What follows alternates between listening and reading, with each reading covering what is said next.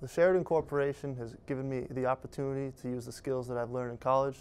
They've given me the opportunity to have a well paying job, a steady job, and we need more jobs like these.